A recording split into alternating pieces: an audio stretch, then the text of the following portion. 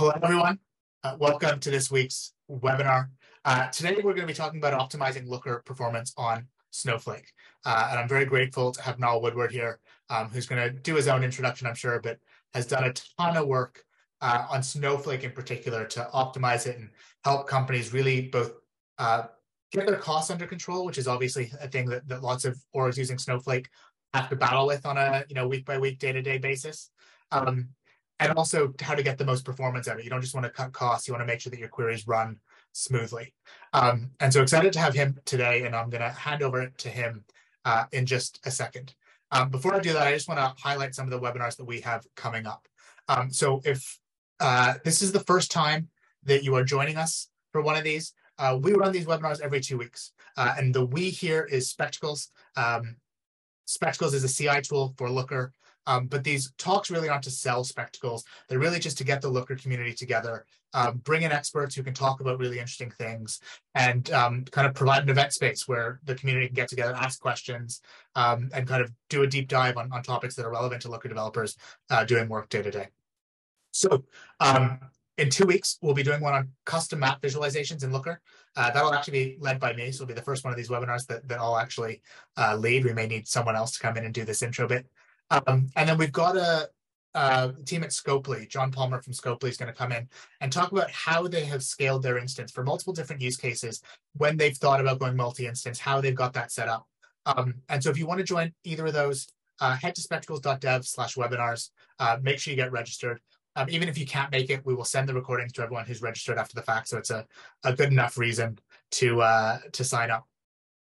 Um, and then finally, some of you will have heard this before I started, but um, for the Q&A and for all the kind of ongoing commentary, um, we have a Slack channel set up, which we found to be the most effective for kind of having a conversation during these webinars. And so I've just dropped the sign up link again.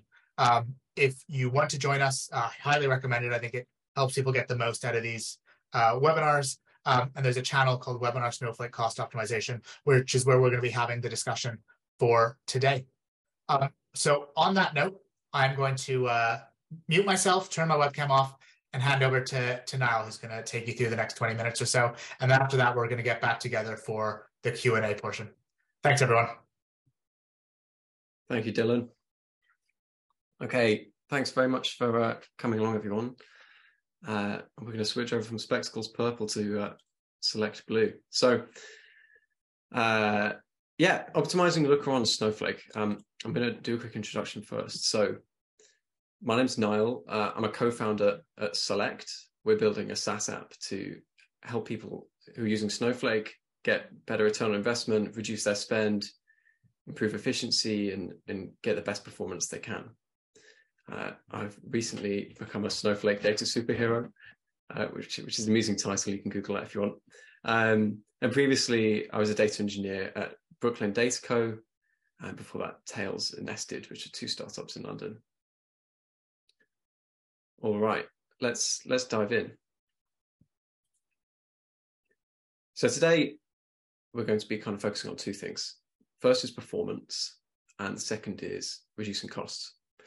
Um, and so I've categorized these into uh, like this. So under Looker performance, we've got live dashboard usage and interaction. So we can think of that as people who come to look at, they're looking at dashboards, they're building explores. How do we make that experience really snappy? Um, and in the latter part, on the Snowflake costs, we're going to be looking through how Snowflake bills, warehouse configuration, um, and how we can identify long-running queries which are causing warehouses to, to run for long periods of time and, and what we can do about them. Okay, let's let's start with performance. So to to make that experience really quick for users who are coming to to Looker to view dashboards, uh, build new looks, use explores, it, it kind of comes down to a real simple thing. Like we want to we want to minimize the work that Snowflake is having to do in the background. Uh, and the two key ways that we do that are by reducing the amount of data that's that's scanned, so that's read from storage, read from tables, and then reducing the amount of work that Snowflake has to do with that data once it's read it. And that's really down to reducing query complexity and simplifying uh, and, and helping Snowflake perform that as fast as possible. So let's start with this first group of uh, optimizations around reducing data scanned. So a bit of background on, on why this is important. So Snowflake uses a proprietary data format that's called a micropartition. Um, this is a format that they've developed themselves. Uh, it's completely internal. You can't find that much information about it. Um, but I'm going to share some interesting facts today. Um, and the important thing is that query performance is really accelerated when as few micropartitions as possible are scanned or read. It's the same thing.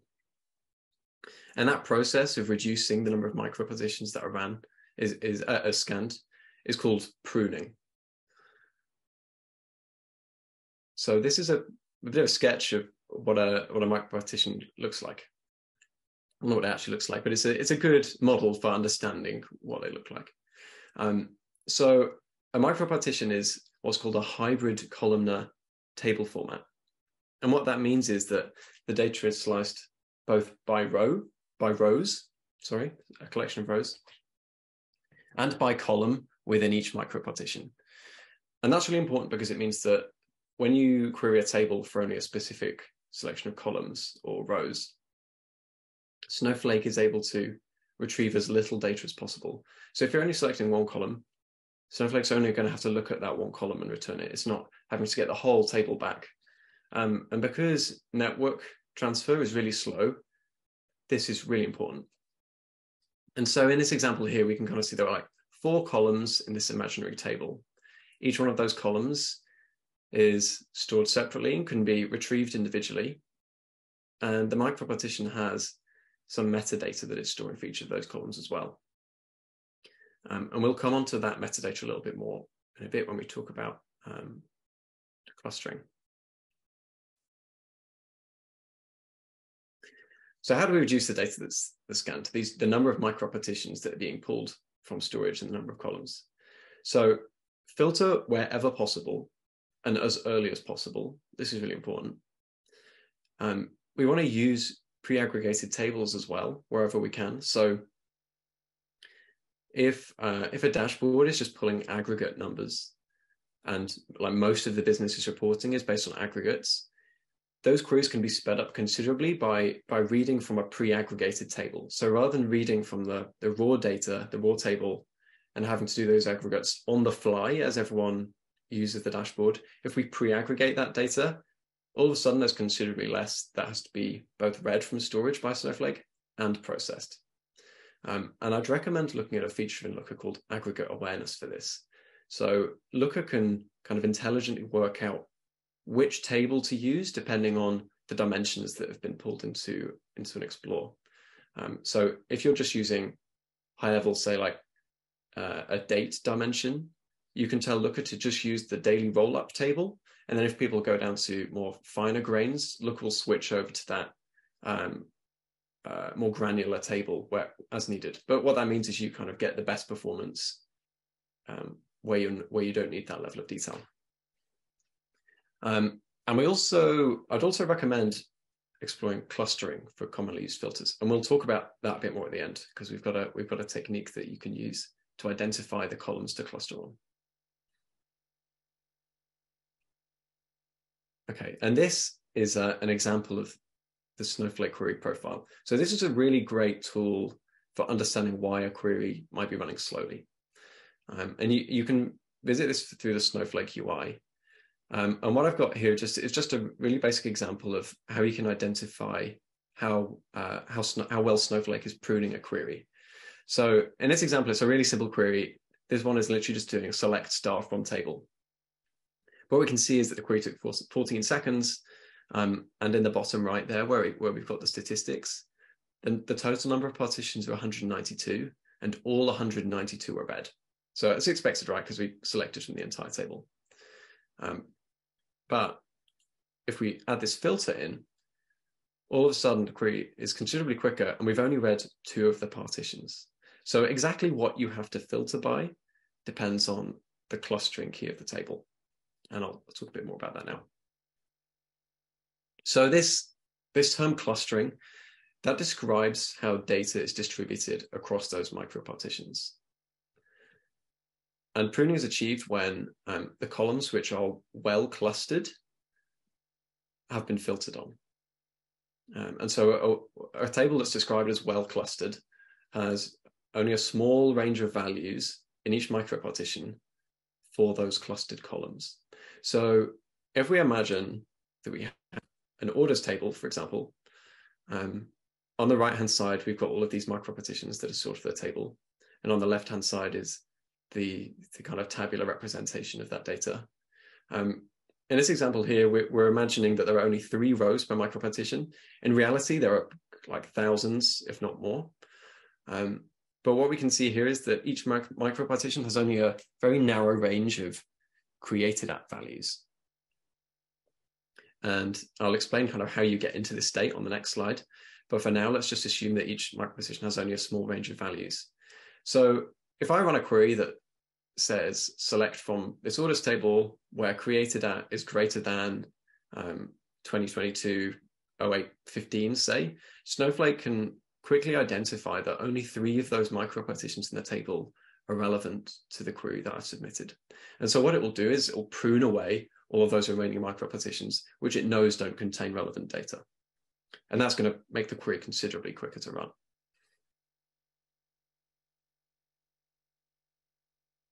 So how do we get to this state where this table is, is well clustered on a particular column? So there are three ways that I, I like to use this, to categorize this. The first is natural insert ordering. ordering. Um, and the great thing about this type of clustering is you don't have to do anything. So if we imagine this orders table, every day we have some kind of ETL process which is loading data into the table.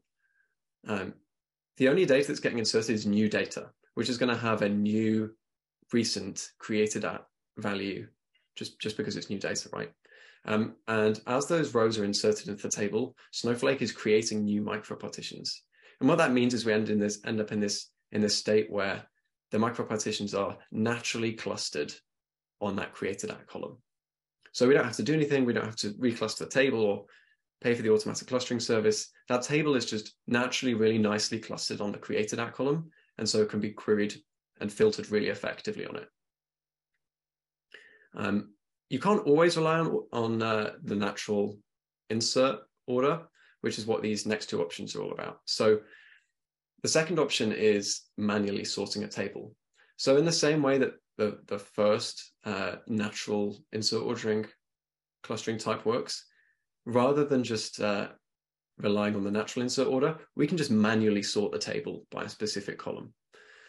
So if we think of an example of like a, a DBT model or a looker PDT, every time that table is replaced, if we just add an order by clause at the bottom of that query, which just says, say, order by created at for the example of the orders table, or maybe uh, you have a dashboard which is commonly filtering on um, customer ID. If we order by that column, the table is going to be clustered on that column. And so again, it will be really, really effective to filter against. And then the final option is the automatic clustering service. So this is a feature within Snowflake, which uh, keeps tables well clustered by a specified either column or expression. Um, so, so far I've just been kind of mentioning that you can cluster by a specific column, but you can actually cluster by any number of columns. The, diff the, the only thing is that um, because this isn't like an index in a database, this is literally just the, the ordering of the columns. Um, you, they are kind of sorted in order. So if you imagine someone source, uh, wanting to cluster on both created at and customer ID, it's going to order by created at first and then customer ID. So the thing that's best clustered is always like the first column and then so on and so on. And so what that means is, depending on the table, um, once you've reached a certain number of columns that you're clustering by, they just don't become very effective anymore because they're still so sort of randomly distributed across all of the previous clustered columns. And I'm happy to talk more about this in Slack because it gets quite complicated. Um, so the automatic clustering service is great because it, it takes care of this clustering for you. You don't need to worry about sorting tables. Snowflake just handles it.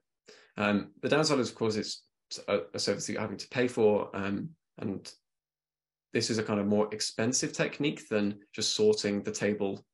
Um, so if you if you have a table which you know is just being updated once a day by a model or some kind of process, I would recommend sorting it manually. Otherwise, if it's having fairly frequent inserts um, or it's it's unpredictable, the automatic clustering service might be the, better choice. But keep an eye on on the cost of, of running automatic clustering and the performance benefits as well, just to see if it's worth it. Cool. So within Looker, if you're curious to understand which are the most commonly filtered columns, um, you can use the System Activity Explorer to identify common query filters.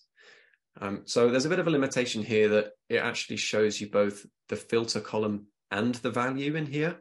So what it won't show you is like the most commonly filtered column. It will show the most commonly filtered uh, column and value, but you should still be able to get some uh, rough direction from that on what the most frequently filtered columns are. If you wanted to, you could um, pull this data out and then pass it out to identify just the columns and not the values. But I'd recommend checking this out. Okay, let's move on from uh, from clustering and data scanned onto onto queries. So why would we want to reduce query complexity? Um, Snowflake translates every query that you write and all of the steps within that query into what's called an execution plan. And that's something which uh, can then be run on the virtual warehouse that you're using. And so the more operations that are in your query, the more steps that are in that plan, um, and the more operations that Snowflake needs to perform to answer your query. Um, and every single step has a fixed time overhead in terms of moving data across those processes within the query, in addition to the work that it's performing. So as much as you possibly can, you want to aim to keep live queries really simple. Um, so filtering and aggregating only. Of course, that's not always possible. And so sometimes you will need to do kind of window functions and things like that. But as, as much as you can, keep live queries simple and do complex logic ahead of time in pre-aggregated tables. Um, so we're familiar with derived tables in Looker. Um, these can be used in two ways, either temporary or persisted. So persisted tables uh, are really useful because that calculation isn't being recalculated every time you're using the view. Um, temporary derived tables, on the other hand, are calculated every time you're using that view. And so if you have any complex calculations in there, every time someone's viewing a dashboard, they're going to be recalculated every time. All right, I think that concludes this section. So let's move on to costs now. Um, and it kind of goes without saying, but all of these things, as well as making the query faster, they reduce cost, right? Because billing is proportional to the, to the time. So as a kind of byproduct of making stuff quicker, you can often make it cheaper. All right. So let's first understand how Snowflake's billing model works. This is really important. Um, so Snowflake charges for every second that a virtual warehouse is active with a minimum of 60 seconds. So if we have a query that runs for just one second and then no other queries run for 60 seconds, Snowflake's always going to charge you at least 60 seconds. Um, but if your auto suspend setting is higher than 60 seconds, You'll keep getting billed until that warehouse is suspended. So what's the impact of that? Um, well, it means that if you have a long auto suspend time, you're probably being charged for virtual warehouses which are being uh, which are just sitting idle and not processing queries, but but still in a billable state. Um, and generally, we want to just absolutely uh, maximize the efficiency of that warehouse. So that means we want to maximize the time that the warehouse is running queries versus the time that it's billable for. And something which can catch people out is the, the PDT and data group maintenance schedule. Um, so this is a feature within Looker which you can use to uh, identify when the data in your warehouse has updated. Um, and when it has, according to a specific query that you provide Looker, Looker is then going to run all of the persisted derived tables that sit on top of that data group. The idea is that you have um, as low latency PDT re refreshes as possible. But the downside of running that every five minutes is uh, that it's potentially keeping the warehouse running for a long time. Um, and especially if you're using a warehouse which is quite large, you could end up with a warehouse which is running like at least 20% of the time, or, or at least in a billable state for 20% of the time based on that minimum 60 second period. So um, I would recommend reducing this five minute period if you're using uh, PDTs and data groups. The challenge then, of course, is that you're going to have uh, lower latency between when the data in the warehouse updates and, and when Looker updates. So as best as possible, try and align uh, that maintenance schedule with the upstream data refreshes, say in DBT. Um, and where possible, split PDTs with a, which require a larger warehouse onto their own warehouse. So a separate warehouse to all of the live queries that are running in your account. Um, and you can do that under the uh, Looker Snowflake connection. I believe you can only set a single warehouse across all PDTs and all views. I'm sure Dylan can correct me at the end, um, which is uh, a bit restrictive, but just worth bearing in mind. Uh, you can still split PDTs onto their own warehouse. Um, and the general goal here is to run queries on the, the smallest possible warehouse that they are running acceptably quickly on. Okay. So once we've sorted out all this configuration, um, the next thing we want to look at is long running queries. So the System Activity Explorer can be helpful again here. Um, it will show you the total runtime by dashboard, which you can then use to kind of rank the slowest dashboards in your account by total runtime. And these are the dashboards which are probably worth optimizing because people are waiting for them to load, but they're also the ones that are driving the most spend as well, because they're the ones that are keeping the warehouse running. So once you've identified those, head back to the performance slides and see what you can do to, to optimize them. And here's a bit of an example of how you can use the System Activity Explorer again. So we've used the dimensions of dashboard ID and title, and then order those by the total runtime descending. Okay, that concludes all of my uh, content that I had. So I can see some questions popping up. Awesome. Uh, thank you very much. Um, yeah, as you said, we can jump into some questions right now. So let me let me pull some of those up. Um, so we got first one from Eric, uh, which is, are all the clustering techniques essentially doing the same things? You mentioned natural insert, sorting the DBT model or PDT, and automatic clustering. Um, and he's saying like, are those all doing the same thing? Or, or asked another way, is there performance benefit to one technique over the other, assuming they're all done correctly? So the end state of each of them is the same, right? You end up with these micro partitions which are well clustered on the column that, that you need. Um, the difference really is in uh, kind of configurability and, and how they're run. So the natural insert order, obviously you're, you're restricted to the, the natural insert of the table. So if you need to cluster on a different column, that you just can't use natural insert ordering. You need to follow one of the other two methods. So between sorting and automatic clustering, the easy button is automatic clustering. You know, you, you don't really have to think about when you're going to do the sort, uh, how you're going to run the sort. Snowflake just takes care of it for you, which is obviously really beneficial. Um, as I said, the kind of downside of that is that Snowflake charges you more for that than if you just do the sort yourself. They're having to charge like a bigger margin because it's a like a managed service. Um, so if this is a big table which is being frequently updated, you might end up with high costs because that automatic clustering service is kind of continually running and churning through the data to cluster the table. If you sort it manually, you have full control um, over both when that clustering happens. Uh, well, I guess that really, when it happens, that's the kind of key thing. So if you find that uh, a table is being frequently updated, over time, the clustering of that table is going to degrade. But it might be kind of okay for a week, in which case you only need to resort that table once every week. On the other hand, the automatic clustering service is just going to continually update that table. So even if it's like good enough, it's going to keep running and keep charging you. So that that's really the kind of difference. It's about how much control you have, but also um, how much overhead there is for you to manage as well.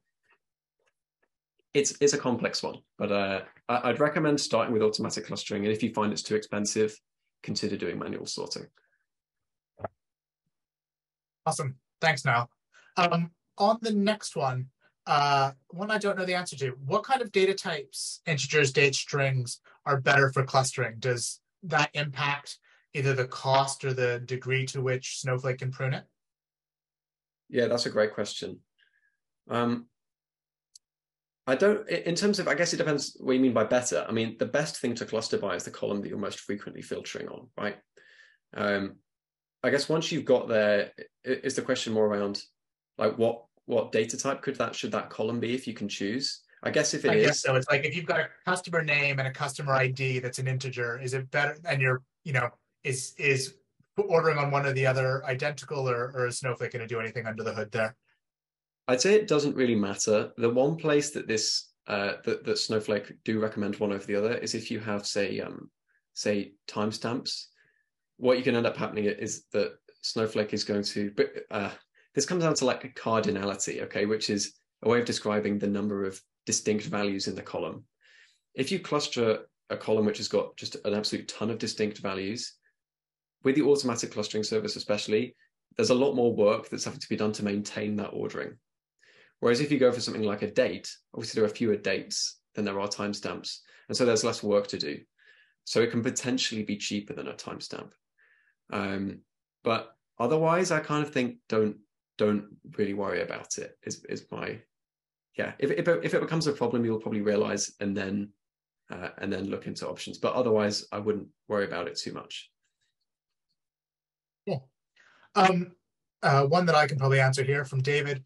Are the system activity explorers you showed pre-built? Uh, if so, can you show how to navigate them? Uh, yeah, David, those are um, the system activity explorers come as part of a Looker instance.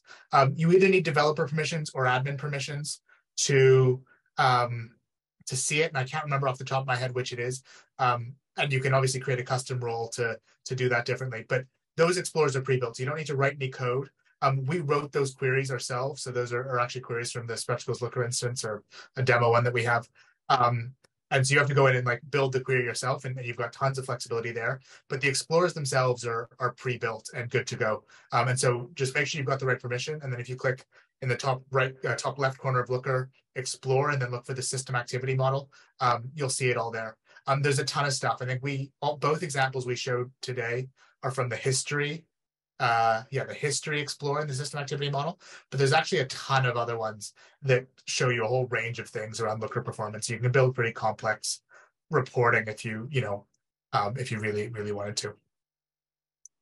Um, Niall, one for you. Are there any resources for people who want to, you know, do a deep dive into the topics discussed? Yes, that's what, you know, and, and, and you've reminded me to plug my uh, blog that I haven't done yet. I'm, I'm going to put this in the Zoom chat. Um, we write extensively about Snowflake performance over on the Select uh, blog. So I'm just going to drop that in um, in Zoom and in Slack. So um, yeah, please go and check that out. We've got a mailing list on there as well where we, we drop out regular Snowflake optimization tips. Awesome. Uh, thank you very much. Um, another question from David, which is, do you ever use the performance recommendations dashboard, which I think is in uh, in Looker. Um, I can say from my personal point of view that I end up tending to like build my own dashboards and just going directly to the explorers myself. There's definitely a ton of stuff that Looker gives pre-built, but I think often um, we're kind of like trying to do something very specific, and I've just found that it's it's easier to go to to the explorers directly and, and do it ourselves. I mean, that's it's a personal preference thing. Um, but there is a lot of stuff. If you're an admin in Looker, there's a bunch of stuff that you can see there in the admin section that kind of Looker uses Looker within Looker to show you stuff built on the system activity, um, and is, is definitely worthwhile as a as a starting place for for all this stuff. Um, cool. Uh, probably got time for a couple more.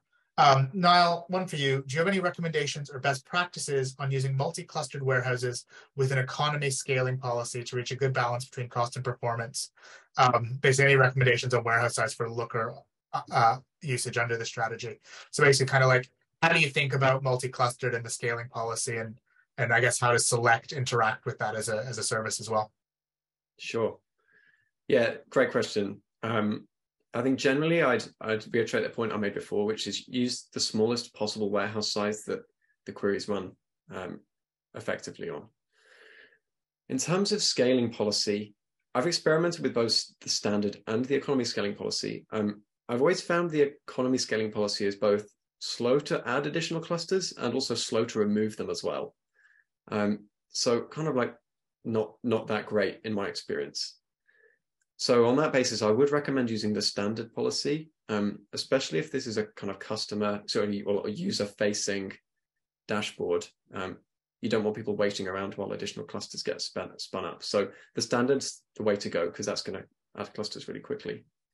Um, and in terms of select, we we have a feature that we call smart suspension and smart scaling. And what that does is kind of monitor the workloads over time and do a more intelligent uh, approach to both when to add clusters and also suspend the warehouse. Um, and that's saving our early access users a ton of money. So if anyone's interested in that, reach out. Um, like at least 10% on compute spend without an impact on performance. Awesome. Uh, I think we've got two more here. Um, is there a webinar out there that demos aggregate awareness? Uh, or if not, can it be a topic in the future? Um, I actually don't know personally of one that covers this in a ton of depth. I, I think I agree with the sentiment to the question that I think there isn't a ton of good resources around this. I think the team at Montreal Analytics may have done uh, some stuff on there. I know some of them are on the call today. So if, if, uh, if that is true, uh, very happy for you guys to post this as an answer uh, to this in Slack. Um, but Marissa, it is definitely something that I think we're going to do some stuff on in the future because it's a, a really powerful tool that I think is underexplained and maybe a little underleveraged in Looker, um, and certainly something that I think we'll get on on the schedule in the future. Um, perfect. Let's do one last question from Devin. Uh, this for you. Can you talk about warehouse side outside of not spilling data? Um, kind of how how should you be thinking where warehouse side or uh, apart from that? And um, is Select ever going to do something with automatic vertical scaling? Uh, yes, we absolutely want to build that. That's something we're planning on building in the next month or two. Is around uh, automatically determining the best warehouse size and scaling up and scaling down as needed. Um, as of right now, like the the really the best measure is around spilling data. So typically I mean, the best way to approach warehouse sizing really is to put, like I mentioned before, the, the smallest warehouse size possible. So ideally, you want to be redirecting queries which need a bigger warehouse to that bigger warehouse and then keep everything else on the smallest one as possible. That is tricky with Looker because you only have two ways of checking a warehouse, selecting a warehouse size. Is that right, Dylan? I know I said that before. It's like one size for all live queries and one for PDTs is kind of as granular as you can get so that you can get slightly more granular. It's I, am pretty sure just one for PDTs. The way that you can get slightly more granular is you can use user attributes for all of the non-PDT queries. So in theory, you can get as granular as every user having their own warehouse. But warehouse it's still size. per user, right? It's not like per and, dashboard or. Right. It's still on a, at least as far as I'm aware, on a on a per user basis. And so notionally, you can do kind of like slightly over the top things in my opinion like letting users control the size warehouse they're running on by controlling their user attributes and like putting instructions in a dashboard that tells people to change it. But um like I, wouldn't i wouldn't recommend that. And so yeah you're basically what you said. Uh, so yeah, aside from that, spillage is the biggest giveaway as, as to when a warehouse size is too small. If you're seeing remote disk spillage, which I didn't mention in this talk, but um, I've talked about in a in a post that I linked, uh, which I can link around warehouse sizing. If you're seeing remote spillage to disk, that's just a kind of dead giveaway. The warehouse size is too small um, and you should increase it. Other than that, Snowflake don't provide statistics around CPU or memory usage, unfortunately. Um, I think we've got two uh, two more that I'll we'll try to answer quickly. Um, have you ever played with Looker connection parameters, in particular things like max connections per node? Um, I personally have not done a ton of this with Snowflake and Looker. Niall, I don't know if this is something you've played around with before. I haven't. Sorry. Yeah. No. Um, if you if you end up going down that path or want to talk about this more, I think it's a thing we'd be happy to definitely happy to like talk about and go through. Um, either drop us a message or, or join the Slack, whichever, um, whatever you want. Um, but yeah, not something that we've both uh, uh, not something we've both dealt with a ton before. Um, and then I thought another question coming, but actually just uh, a recommendation from Jake, which is using user attributes, give, Excel, give execs uh, the user group the XL warehouse user attributes, so they don't have to wait around for queries as much as lowly peons around the organization. Um, yeah, if you're uh, if you're dealing with uh, slow performance, a way to at least keep the the big wigs happy is to use user attributes to just let them run on a much larger warehouse. Um, and then when they complain about the bill, you can explain to them that it's their own fault, uh, which is nice for accountability. Um, awesome. Um, I think that's where we're going to call it uh, today. Um, first off, Niall, thank you very much. This has been super interesting and, and really glad we were able to get you on the webinar today. Um, Thanks I'm so sure much. in future uh, we'll, we'll get you back on again. Uh, and then to everyone attending, um, we continue to have really great turnout for for all of these. So uh, really big thank you to all of you for um, for doing that. Um, uh, please, uh, kind of as some of you have today, if you have topics that you'd like us to cover in the future, please get in touch. Um, we're really happy. We're you know we both know Looker really well, so there's lots of things that we'd be happy to talk about or find people to talk about. Um, and so please do get in touch. Uh, and additionally, if you want to host one in the future as well, we've um, you know a couple of these coming up where where people getting in touch and, and you know offering to talk about something interesting that they've done with Looker at their organization, please do that as well. Um, and even if it's only like a half baked half baked idea, happy to work with you and um, kind of get it to a webinar or whatever it may be. Um, and uh, thank you now for moving the next slide. Um, join us for upcoming webinars. So uh, map visualizations in two weeks, and then multi-instance scaling uh, two weeks after that. And uh, probably in the next week, we'll be announcing a, a couple more um, kind of from April onwards. Um, so once again, thank you, Niall. Thank you to all of you. And uh, we'll see you in a couple weeks. If you have any more questions, uh, drop them in, in Slack. And if any of you want a demo of Spectacles, uh, get in touch. Um, not really or what these webinars for, but uh, or select. Uh, if you're if you're dealing with significant uh, snowflake costs, go have a, a chat with Niall and the team there um, because they'll be able to to help you out. Awesome. See everyone in a few Thanks weeks. so much.